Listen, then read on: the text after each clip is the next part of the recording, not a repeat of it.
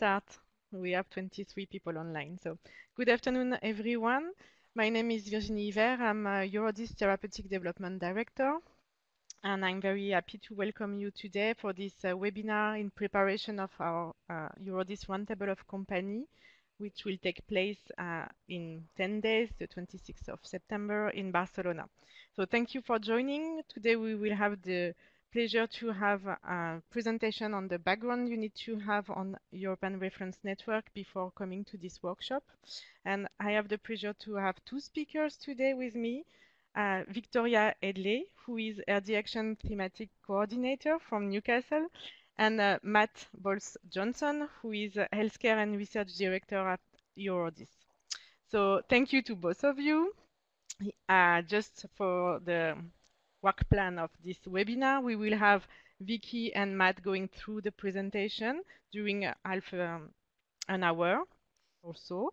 And then we will have time for question and answer. So please keep your question for the end of the presentation.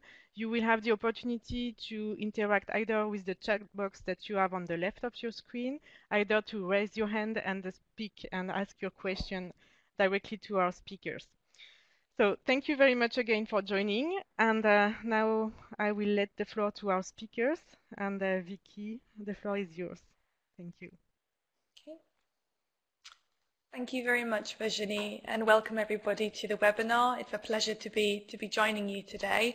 Um, I work in the Joint Action for Rare Diseases, RD Action, and Eurordis are a key partner of ours in all of this work. So it's a real pleasure to be part of this of this web, uh, webinar and to join you indeed on the workshop at the end of the month.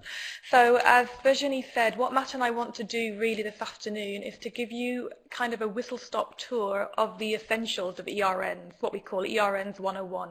So tell you what these things are, where they came from, where they are at the moment. So this is the operationalization Matt's going to talk a bit about unlocking the potential of ERN, so taking you through a couple of maybe concrete cases and the kind of clinical situations that the ERNs are going to, to address and improve. Um, patient involvement in the ERNs is increasingly important. It's, a, it's, it's, one of the key strengths of the network. So Matt will give you a bit of uh, information on how your audience are managing this and how the patient community is organising itself. And then finally, we'll end on a, just for a couple of minutes talking about some of the, the shared policy challenges um, and in interaction with companies is extremely important in those discussions. So without further ado, uh, introductions to ERNs. If you already know a bit about ERNs, then I'm sure you will know a lot of what I'm going to say in the next 10 minutes. But we really want to be able to get everybody to Barcelona hitting the ground running. So everybody knows what the networks are, where they came from. And that way, when we get to Barcelona, we can launch some more detailed discussions.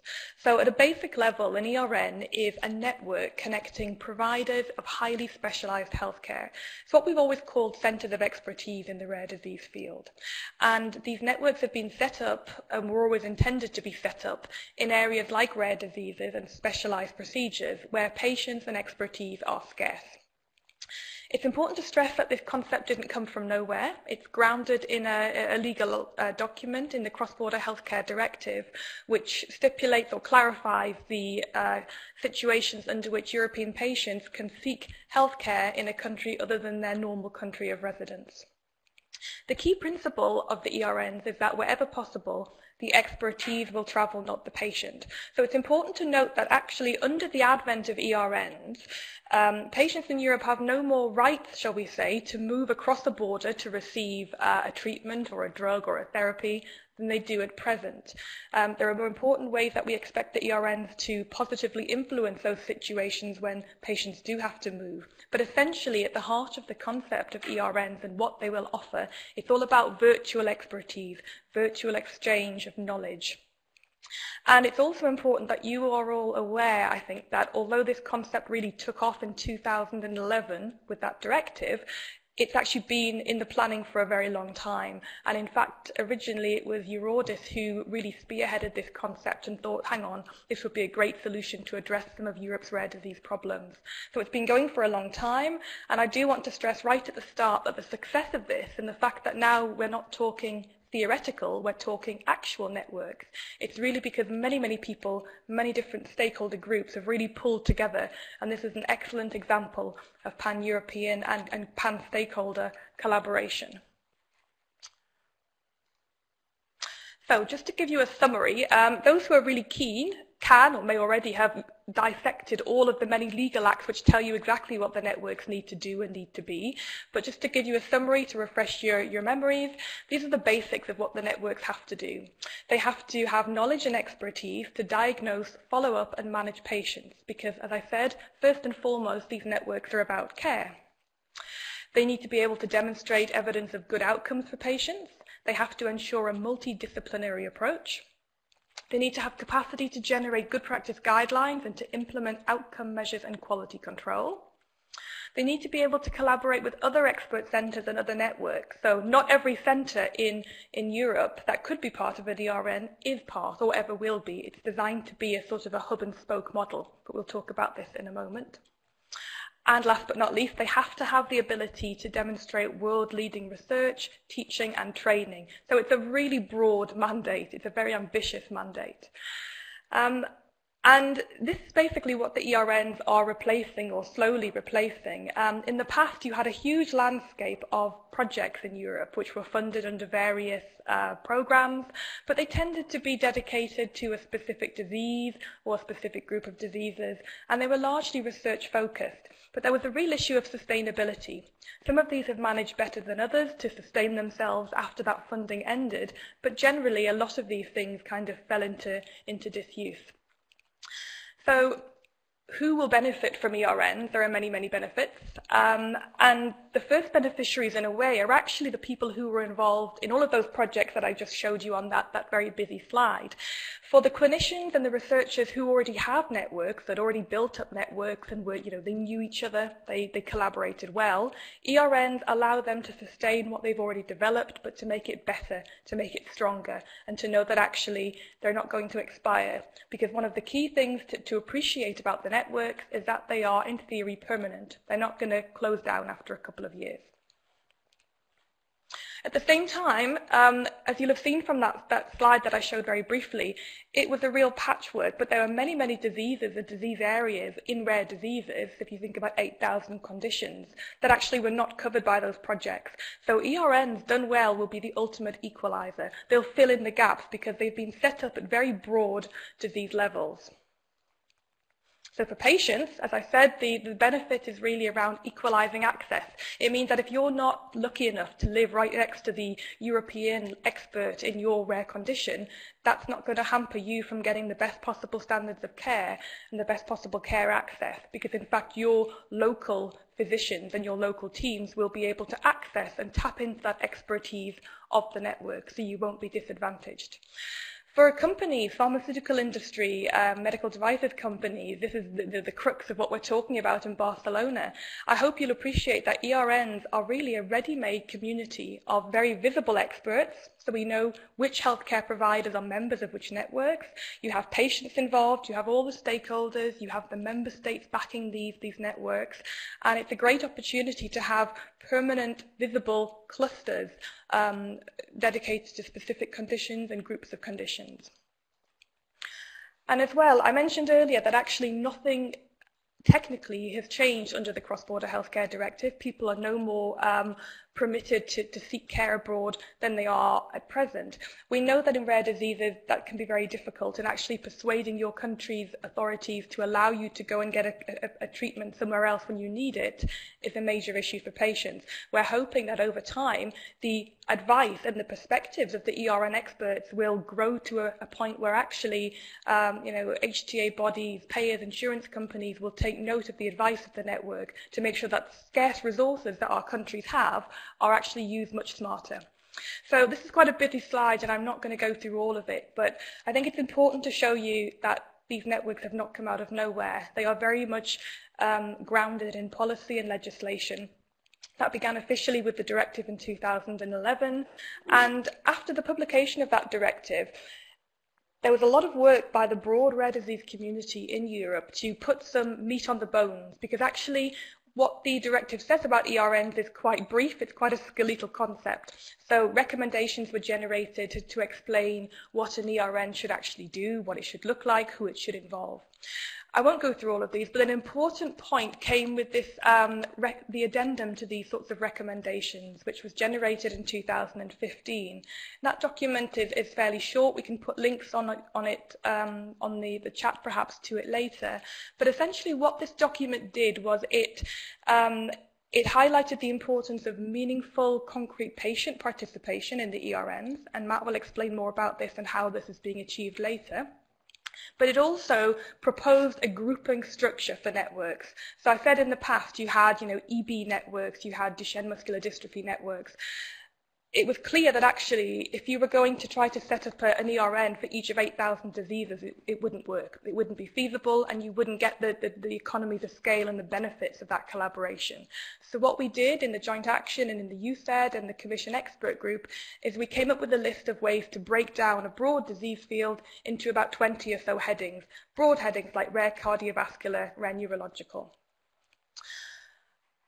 Now, once we had all of these, um, all of these headings, we had to try to support the very broad rare disease field in Europe to actually organise around these. Because a crucial point about the networks is that when this call went out last year, um, early last year, we were all um, it was made very clear from, by the Commission that in fact these were not to be competitive calls. They didn't want lots of different metabolic applications, lots of different rare pediatric cancer applications.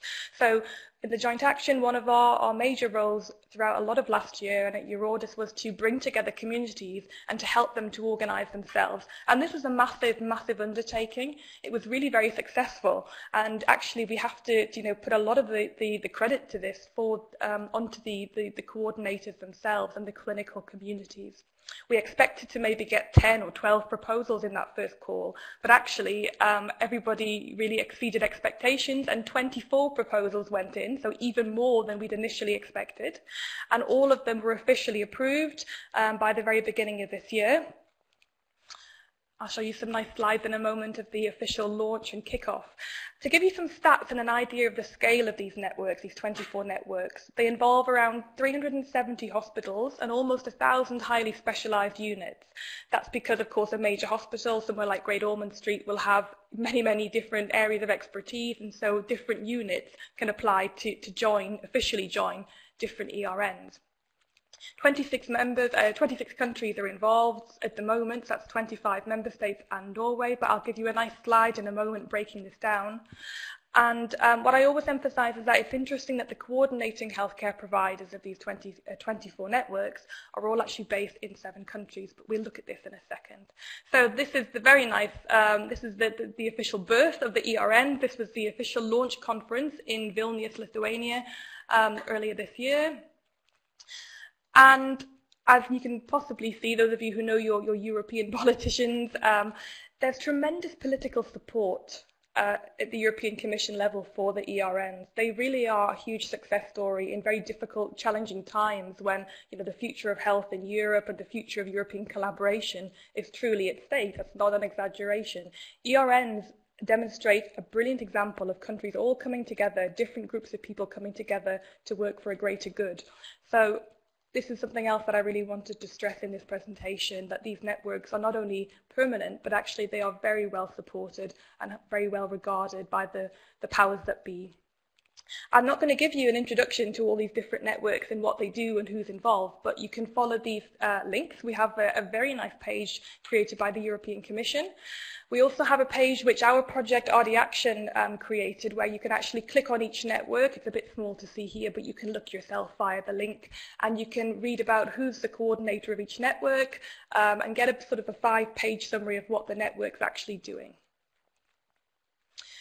What might be useful for some of you in your day-to-day -day work actually is to follow this, this again, it's a commission link where you can actually search by country and you can see which ERNs the country is involved in and which healthcare providers are involved. Or you can search by network So you could look at the Rare Bone Network, for example, and you could find out which countries, which centres are official members because there is very strict criteria to be officially a member. We'll talk about other possibilities in a moment.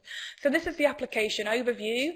Um, these are some nice figures which our, our Eurodas colleagues have, have generated. And really, I just wanted to highlight this to show the kind of geographical scope of the networks. Uh, we have almost all of the member states involved, and those that aren't at present um, have the, the potential to join in the next calls. So it's really good coverage. As is possibly expected, the, the bigger countries, a lot of the Western European countries, um, are involved in all or nearly all of the networks and actually have quite vast numbers of um, participating healthcare providers. But still, it's worth pointing out that we do have some of the Eastern European countries are quite high up here as well. So the Czech Republic is involved in many, many networks, Poland. Um, and obviously the next challenges for the networks is to see how we can actually consolidate membership in some of the countries where there's fewer and how we can expand it where there are no members at present.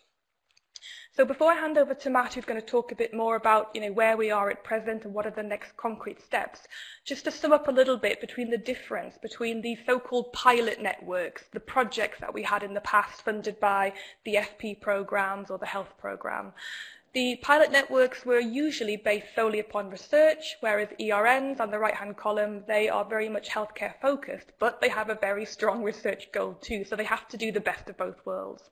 The pilot networks were very much single disease. Now we're in the realm of very broad diseases. Not all of these networks will address all the diseases under their heading right from day one. It has to be a stepwise development. But in theory, this is what will happen over time. They will expand their disease coverage. That's very important in terms of creating and generating valuable links between specialists who may not have worked together previously but also in sharing data and seeing how data generated on specific conditions can be pooled to elucidate patient cases from related but, but slightly separate conditions. I'm not going to go through all of this, but just to point out that, again, these are permanent networks. They're not time-bound. Permanent assuming that they pass their first assessments, which will be in about four and a half years' time. Um, they are rooted in legislation and they will be assessed and monitored by member states and by the European Commission for all sorts of different levels of performance and quality control and impact. So um, that's my last slide on the very basic introduction of how we got here. So I'm going to hand over to my colleague Matt, who will talk to you a bit about what the networks are prioritising at the moment and how they're actually going to work. Okay, thanks, Vicky. Um, so with the networks were launched at the beginning of this year after the application process, and um, it will take them a bit of time to establish themselves. It won't be on day one uh, patients will be referred for specialist advice.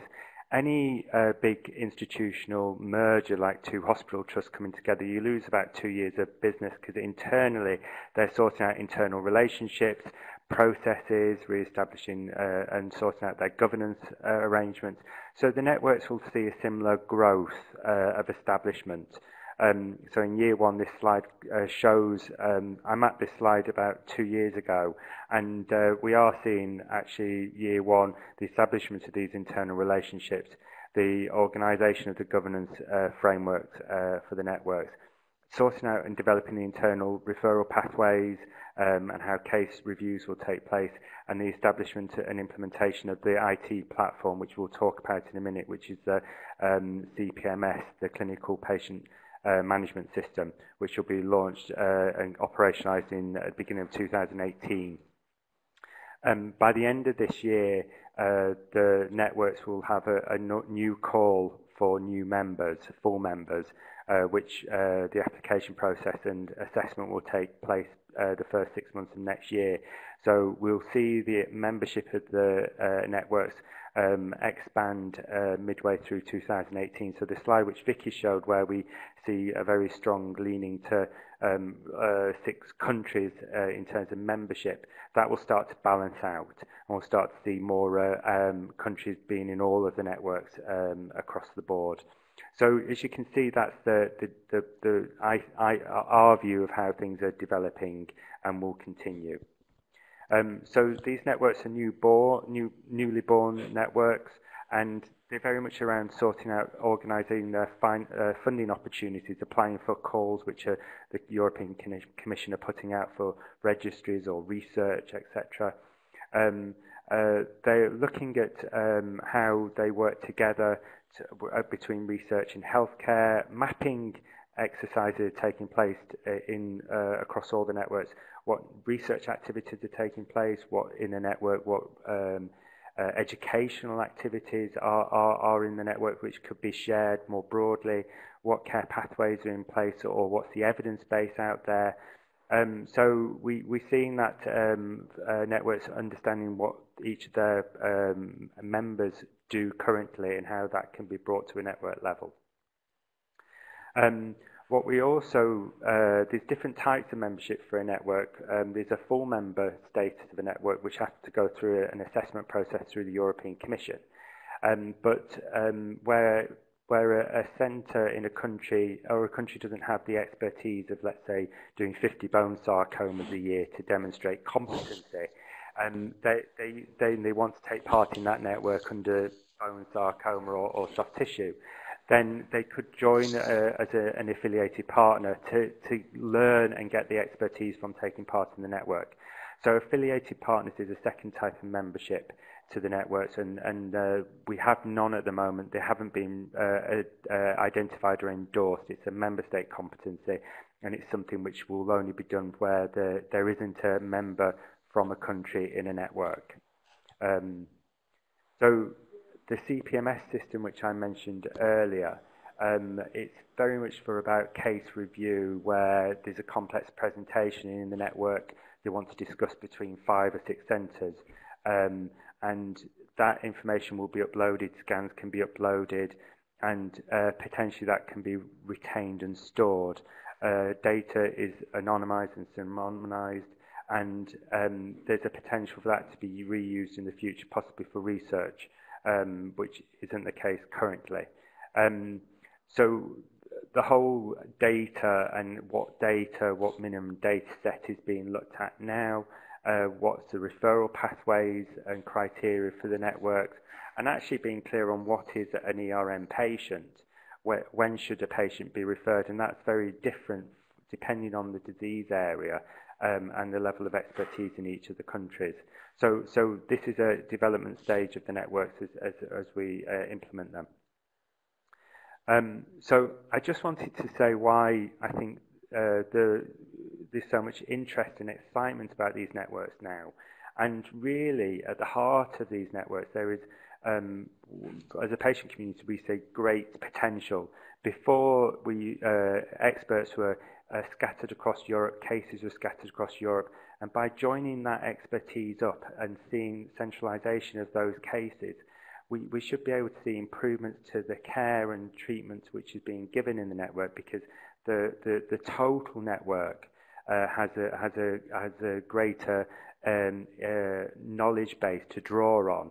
So in a way, I say that ERNs are more than the sum of their parts. So the collective brain of an ERN is more than e each of the members uh, individually put together.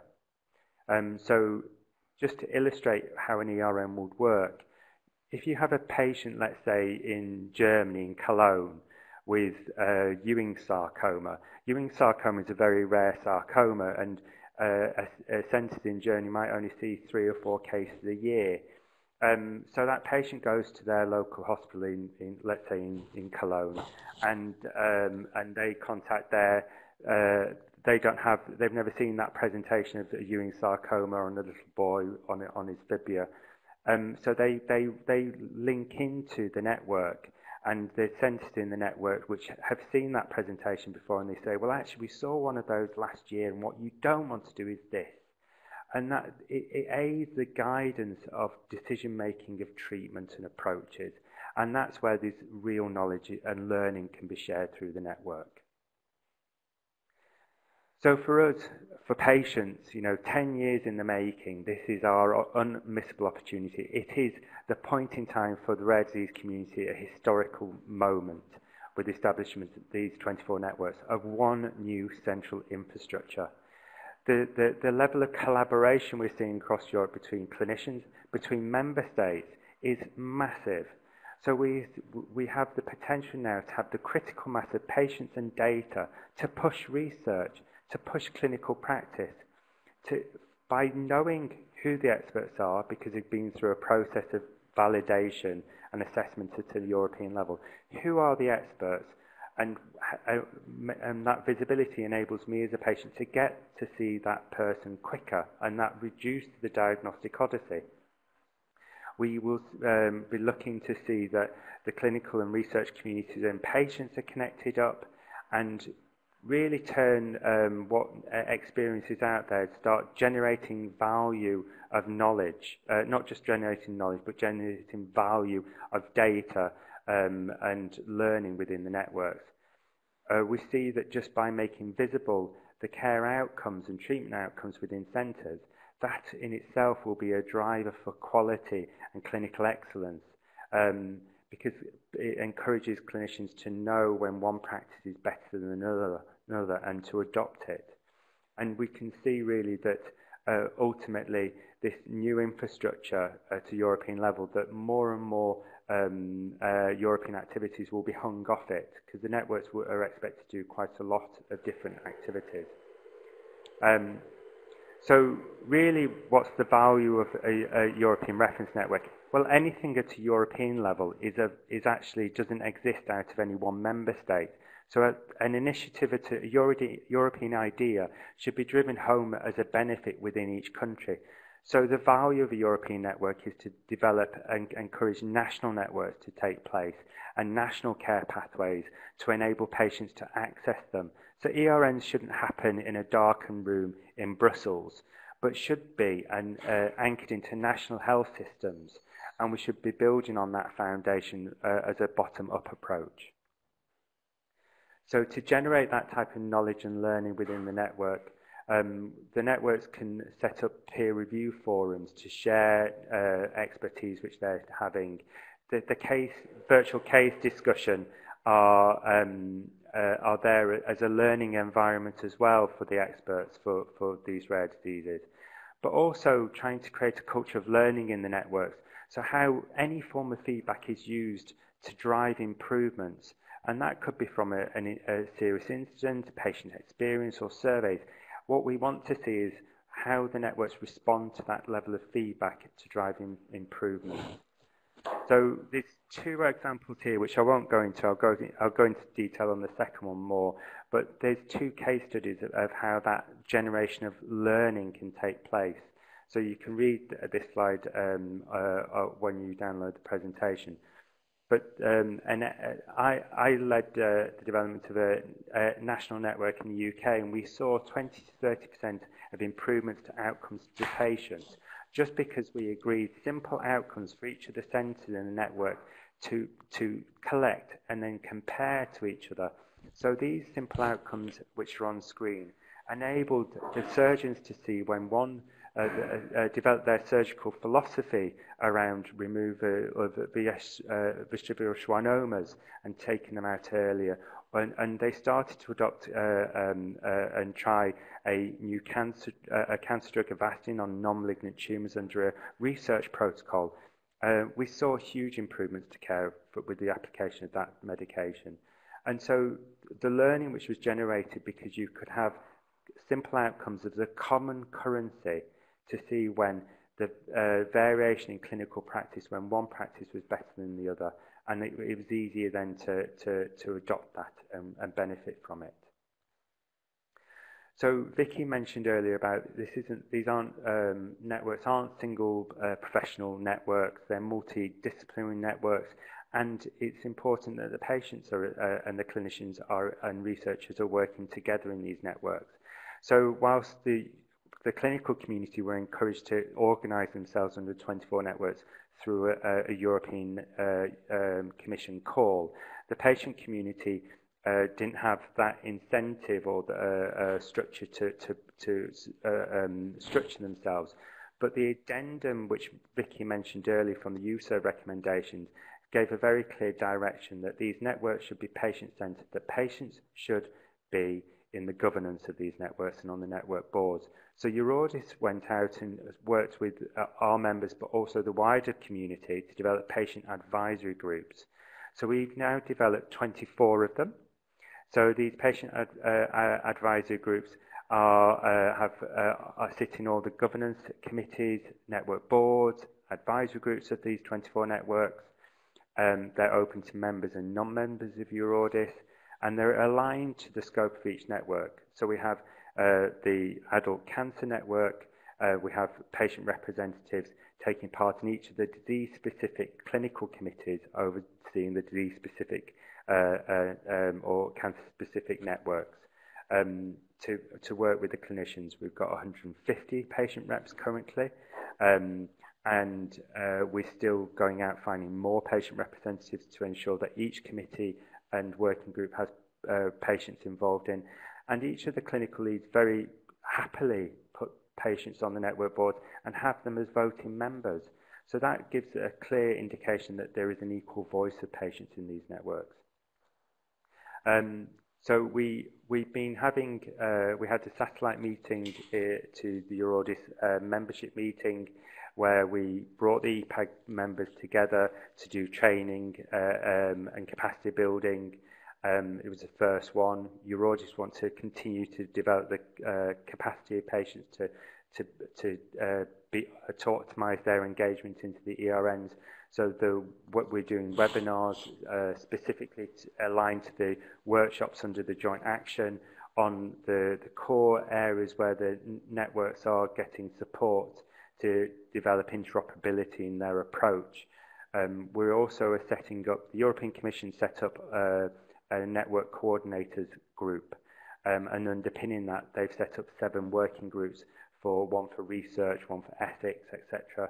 So your audit is also going to be organising um, transversal focus groups aligned to those working groups at a European level uh, to be able to uh, ensure that those uh, uh, European Commission uh, net uh, working groups can link in with patient representatives. So um, the patient representatives for clinical outcomes, um, all the patient reps in all the networks who sit on the working groups in the network on clinical outcomes and guidelines can come together, share their knowledge and how things are developing in the different networks and link into the working groups at a European level. We do peer coaching, which in, on a quarterly, quarterly basis, which is with the clinical leads of the network as well. And we've also set up a, a mentoring program uh, for patients to support them. So I think that's where I stop and hand over to Vicky. So yeah, thank you, Matt. So I'm just going to finish off for the next couple of minutes by, by um, highlighting some of the policy support and development work that's going on around the networks. So you've heard a lot there. You've heard about how the networks came into be. Um, you've heard where they are at the moment, the sort of scale and coverage of the networks.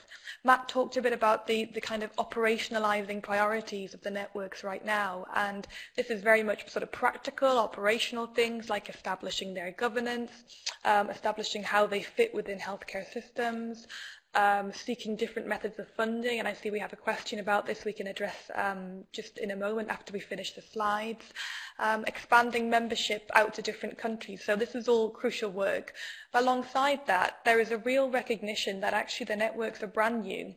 But the people involved in them are not brand new, and many people have been working for a long time in rare diseases and specialized healthcare and research and data standardization, and what they want to do is to bring together all of the identified good practices and the easy wins to help the networks to actually address, although they're all looking at different diseases, to address what they can address in the same way. So to share good practices around things like clinical, pra uh, clinical practice guideline generation, registries, um, conducting clinical trials, feasibility studies. And my project, um, RD Action, which Eurordis, as you know, are, are our key partners in, we've been trying very hard to, to work with the networks ever since they were sort of ticked off and approved to, to help them to generate some policy-based guidance. So we do this through um, a series of workshops that we've been organising and as Matt explained, um, you know, this field in terms of the actors involved is changing all the time.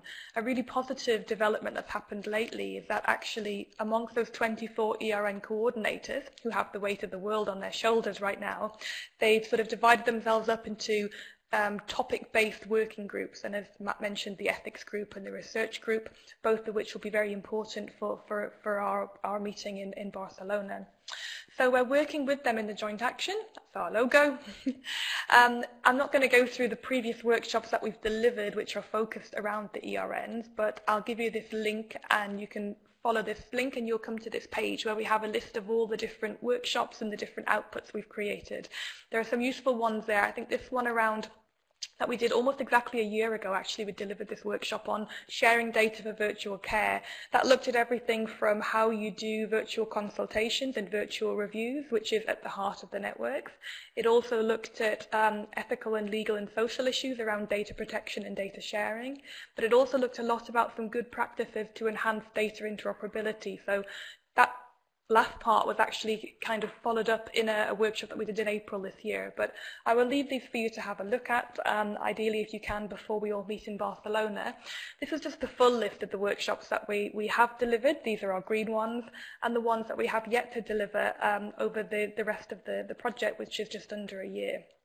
As you'll see there, I can't really highlight this, but the one just under purple is um, an idea that we've had for some time. We've been very keen to work with the coordinators and the Commission and the patients and the Member States huge multi-stakeholder collaboration to really explore structured strategic collaboration between ERNs and companies and also between ERNs and regulatory bodies, HTA bodies, etc. So a lot of that is about you know, learning what the ERNs do, but also really drilling down to the key points and the key moments where collaboration could work between these different players, what the needs and priorities would be on each side to have a harmonious, mutually beneficial relationship, uh, and what we need to put in place to make this happen.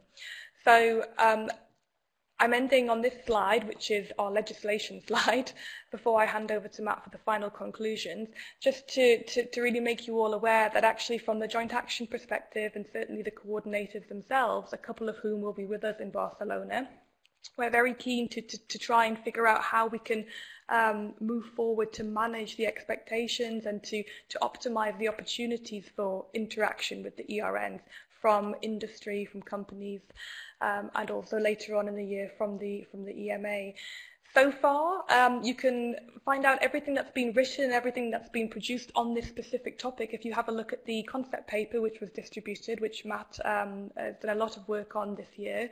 This has been sent to everybody in preparation for the workshop, but that will highlight some of the key policy documents and the legislation we have at the moment. So an important one is this one on the right, which is a statement produced by the Board of Member States of ERNs on some of their key hopes and expectations around the engagement with industry. So um, I'm going to hand over to Matt for one final slide before we open up for questions.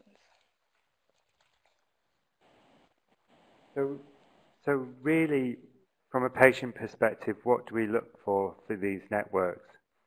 Well, these networks really offer hope to us that actually the people who are living with rare disease in Europe, 30 million people, um, that their lives will be improved because the networks will connect up uh, uh, the national healthcare systems um, and all the expertise across Europe so we can access uh, that expertise faster um, and get uh, uh, uh, quicker access to diagnosis and treatment. But we want to see also really that there's an increase in, of evidence base generated and then also an increase in adherence. So treatment decisions are given more against what is uh, seen as best practice. We, we, we hope that uh, uh, there will be an acceleration of the pace of research because data will be um, uh, connected up and shared and really ultimately for a lot of rare diseases, not just uh, the few, that we have uh, new therapies for all rare diseases being developed and that uh, we can have better access to those therapies. So I just want to say thank you for Vicky for supporting this webinar, um, and uh, that's uh, thank, thank, you. you thank you very much to both of you, Vicky and Matt, for this very comprehensive and uh, crystal clear presentation. Uh, so now we will move on to the Q&A uh, part. Uh, just uh, two points before we start. Uh, as I said previously, you have several opportunities in the audience to provide us with questions, either by using the chat box on the left, and we do already have one question there, either by raising your hand uh, using the button that you have on the top of your screen, and then we will open the floor for you, and uh, you can ask your question.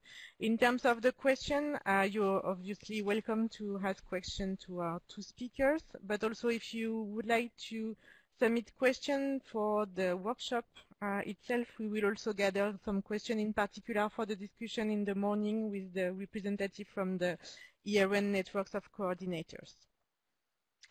So maybe to start with the first question that was uh, um, written in the chat box by Catherine Beaverson. Uh, it was about one of your slides, uh, Matt, where you were explaining uh, the ERN scope. And uh, Catherine was asking what it meant, what is meant by funding opportunity. Uh, so if you recall this, um, this slide, that, yeah. yeah. So um, uh, the the European Commission have get, uh, put out uh, uh, there is support for each of the networks. Each of the networks gets a grant every year for five for the first five years um, to support their coordination activities. The networks coming together, uh, developing how they work together and sharing their knowledge. Um, so there's there has been a number of other calls which have gone out uh, by the European Commission. There was one on, for registries, which, uh, which are, these calls are specific to the ERNs. Um, so the networks themselves are putting applications for new funding um, uh, opportunities like uh, the call for registries, where a number of networks will be supported to uh, develop their registries, which they have. Um, there's been calls under Horizon 2020, for um, uh, Solving Unsolved was a recent one. So the networks are coming together uh, to to look at those funding opportunities coming from the European Commission to be able to um, uh, uh, get uh, additional funding to develop their uh, infrastructures and how they work. Yeah. Um, Vicky, yeah, just like to, to add, I mean, you know, the money question is always crucial, and for, for many years before the actual creation of the ERNs, a lot of people raising the very important question of what, how are these networks going to be funded.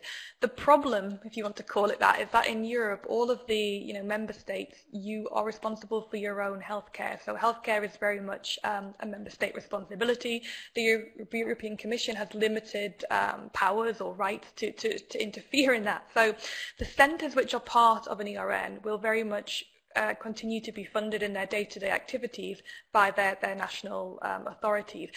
But where the commission did come in and say, okay, we will support this, is in the, you know, making the magic happen between the centres. Because as I'm sure you're all aware, coordinating a network of, you know, in some cases up to 70 odd centres, most of them are not quite that large, but they're, they're, they're much bigger than the initial 10 centres in, in, in eight member states, which was the, the bare minimum here. These are large networks and that takes money, it takes dedicated people. So at the moment what we have is, as Matt said, each of the networks has, I think it's about 200,000 euros per year to do that coordination money, and that goes to the coordinating centre. But actually trying to, to find um, sustainable funding to do all the other activities, at the moment it's a bit of a piecemeal effort. So as Matt mentioned, there are calls relating to um, creating registry, either setting up new registries or linking to existing ones. That call was through the public health programme and we don't know the outcome of that quite yet. There's other funding, um, for example, through through uh, another framework which supports um, the, the healthcare providers and actually connecting to this central shared platform. The platform itself, the clinical patient management system, which is what will share the clinical data and allow these virtual consultations to take place, that is being provided by the European Commission. So that's part of their, their contribution to making this happen.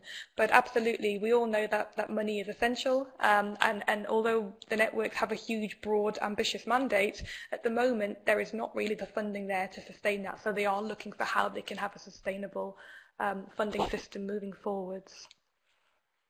Thank you. Uh, so we do have another question. I will read for you. Uh, will ERNs also facilitate patient input into early drug development programs for their disease? EUPATI does a great job at building capacity, but it is still not clear when and how patients can actually be engaged by companies. Maybe something that ERNs as ready-made community of expertise could address. Any plans in that direction? I guess there is a lot that we will discuss on site as well. I don't know if you have comments so far on this. So um, in terms of the expectations of ERNs, the, they, the legislation says that they both need to be patient-centered and empower patients. And um, there's two documents. Vicky showed the um, the delegated decision and implementation decision, the legal framework for these networks. Um, there is a, the delegated decision uh, is, uh, is um, sets out the different standards the network should do in terms of criteria. And then that, that was expanded for the assessment process in the operational criteria, which is, uh, was a really helpful document. And in reading the operation criteria, what the networks need to do to, when they, when, uh, to demonstrate, patient engagement and involvement is throughout all the activities. Um, Eurordis have just done a summary, a one-page summary of the types of activities that the networks need to engage with patients to support, um, uh, and that is through the um, the uh, early uh, drug development pathway um, through uh, um, recruitment into clinical trials, right the way through to development of um, uh, uh, guidelines, etc. It's, it's through all activities. So I do think they have a responsibility to do that. Um, how that is done um, uh, uh, we need to look at those different options and develop best practice around that to steer the networks into adopting uh, current knowledge base and experience from EUPATI in different places. So I think it, I think it's there in its uh, in the spirit. I think we now need to look at how we could do it in a practical way. Thank you. Um, yeah, don't hesitate. Uh, thank you for submitting question in the chat box, but don't hesitate to raise your hand as well. We would like to hear your voice as well. Uh, maybe in the meantime, I have another one from George Reynolds. Uh, have we an expected date on when the patient consent forms will be released? So this is this is the, the patient consent forms um, for the virtual consultation. So we mentioned a few times throughout this this webinar that actually providing care and providing virtual care wherever possible is at the heart of the networks. To do that, you need a shared common platform through which people can do what we're doing now, um, essentially, but do it a little bit more technical, a bit cleverer, and far more legally secure because you'll be sharing information on patients. So depending on the kind of um, case you're looking at. Sometimes it might be um, the sort of thing that they do in fields like some of the pediatric cancers, for example. They have these sort of virtual tumor boards where all the experts come together at appointed times. They share images, scans, um, information, summaries, etc. Other times it will be very much people sort of logging on, experts from the ERN members logging on to review cases in their own time. Either way, clearly, patients need to actually provide their consent for this to happen. So that consenting will happen at the local level with their local clinicians. Um, to make things streamlined, because everyone will be using the same system, uh, the European Commission authorised a, a, tender with some, uh, some legal experts to come up with a, a sort of standardised consent form. So a kind of a brief information sheet for patients, because if you imagine you turn up at your your healthcare provider and, and your, your physician says to you, look, you know, I think actually I'd like to call upon the expertise of the ERN they might say, what, what on earth are you talking about? Because actually there's not broad public knowledge yet.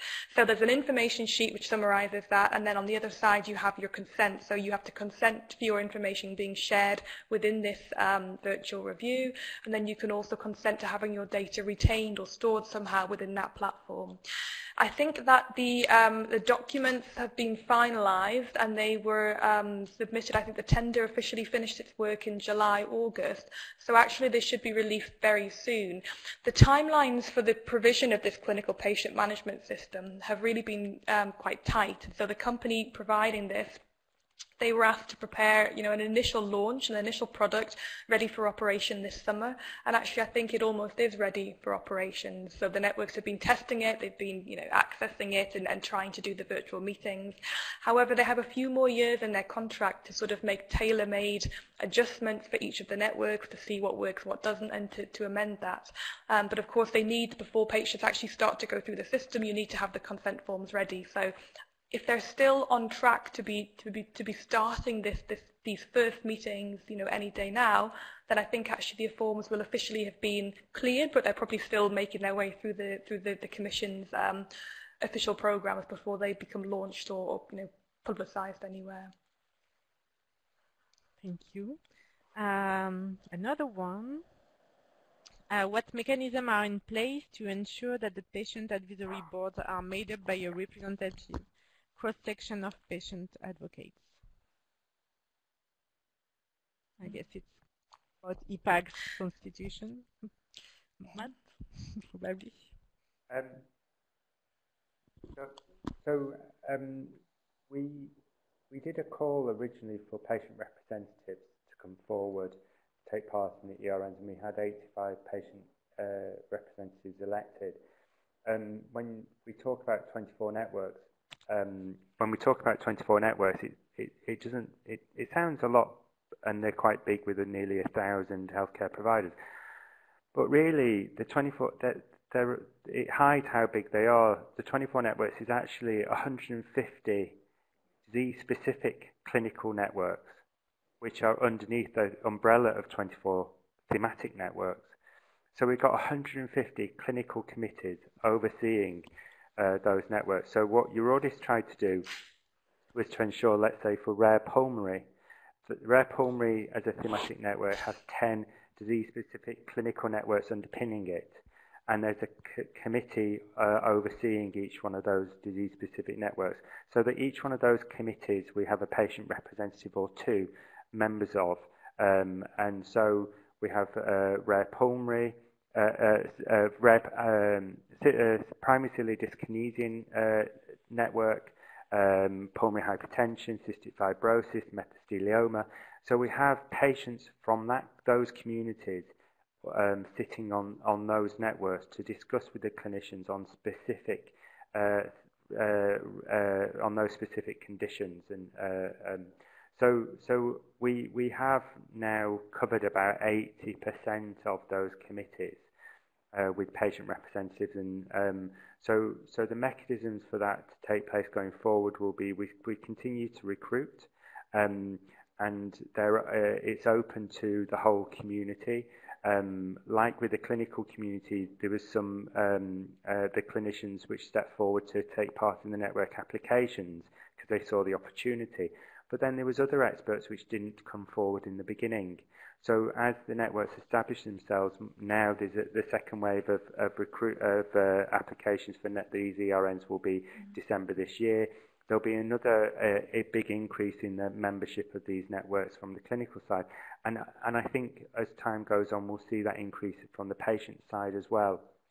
We need to work with the clinicians in the different countries to, to identify their patient organisations to get them involved. So we all start working as, as, a, as a community uh, in, uh, at large, really. Does that I answer the question, so. Congratulations. okay. And and you got confirmation from Walter. So that's perfect. Uh, so we still have a couple of minutes if uh, there are some additional questions. You can, uh, as I said, you can always raise your hands or type them. And uh, also if you have questions that are coming uh, to you after this webinar, don't hesitate to uh, forward them to us. We will use them in preparation of the breakouts of the afternoon or for the discussion during the day. Anybody wants to React now, or everything was super clear, everything was. An additional one, how rare genetic subgroups of a large disease, uh, like with the ROS1 translocation in lung cancer, uh, considered as rare disease? That's a tough one. That's an interesting one. I mean, technically, the this is a good point to make um, at this junction actually is that you know I always talk about rare diseases and ERNs being for rare diseases firstly and they are but actually they're beyond that. They're actually for you know procedures and any conditions where a, a highly specialized approach and high, you know a concentration of expertise is needed. When we're talking rare diseases in Europe of course we're talking about that that that you know no more than um, 5 per 10,000 figure. So I think I mean Matt what I don't know as much about the cancer ones as you do, I, but I, I, yeah, so, so I, think it, it's actually quite easy. So European reference networks aren't solely rare mm. disease networks. They're, they're, they're, they are networks to be developed where there needs to be a centralization of expertise or resources or knowledge um, for highly specialized healthcare or complex condition, uh, conditions or presentations. So um, you you uh, want, uh, for um, something like diabetes, which is very broad, there could be a very uh, small subpopulation of diabetes, which actually those patients should be mm. seen in the rare uh, endocrine ERN. The 24 networks which have been established so far have been predominantly rare disease networks because I think the rare disease community have been working together for a long time and have seen this opportunity coming. But some of the networks are more highly specialized yeah. surgery networks. The urogenital network uh, has uh, uh, is, is very much more in that uh, uh, uh vein, and also I think the um, digestive diseases one is. And so, and we have also a, a network for rare genetic um, tumours which are at risk of cancer. So that covers hereditary breast and and colorectal um, conditions uh, which are pre uh, uh, higher risk of, of, of cancers. So, so actually, the not not everything fits into the box of the approach which the RD action and the uh, EUCERD recommendations on the thematic areas for rare diseases. And actually, I think that there is some interest in uh, that the, these 24 aren't, aren't the end of the story, they're the beginning with some member state representatives looking more that we should be focused on developing more of the uh, highly specialised uh, um, uh, healthcare networks now, uh, broadening out more from what we've got in terms of the rare surgery. So I do think when we talk, look at rare conditions, um, rare presentations or uh, subtypes like you say, for, for, for rare lung cancer. I mean, some of those things I think will obviously come to the fore uh, um, yeah. quite soon. So I, I, I think it will go in that direction. But we, we have to establish these 24 first, really um, maximize on their opportunities and the success of them. Um, and as Vicky said at the beginning, the political interest of this um, is, is very high, and the European Commission uh, uh, are looking at these networks as a sign of European added value because of the level of collaboration. So, and this model potentially will be looked at developing yeah. in other Actually, areas. The rare, the rare cancer um, contributions to all of this are, are really very strong. So you do have the genetic tumor syndrome network, and you'll meet the coordinator of that actually in, in Barcelona. But we also have um, a pediatric rare cancers and adult uh, rare cancers as well. And for all the other networks, all the other disease-focused networks, actually pediatric and adult is all classed in one, but, but there was an exception made for the cancers. So, so you have you know three very strong cancer-focused cancer-focused networks. Thank you. Thank you very much. I think we are reaching the, the end of this webinar. Uh, so first I would like once again to thank you both, uh, and Matt, for your participation and uh, also all the people that are online. Thank you for the question. Do not hesitate to come back to us, as I said, if you have additional questions that comes uh, after the webinar. And uh, looking forward to seeing you all in Barcelona in 10 days. And thanks again. So have a good afternoon, everyone.